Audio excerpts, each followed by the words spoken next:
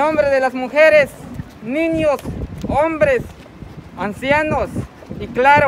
Otroa Zapatista, declaro que el nombre de esta tierra, a las que sus naturales llaman ahora Europa,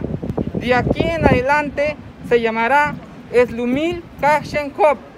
que quiere decir tierra insumisa o tierra que no se resigna, que no desmaya, y así será conocido por propios y extraños mientras haya alguien aquí que no se rinda, que no se venda y que no claudique.